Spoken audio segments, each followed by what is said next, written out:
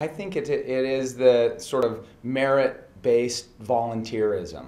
There is a sort of a respectful and supportive uh, foundation.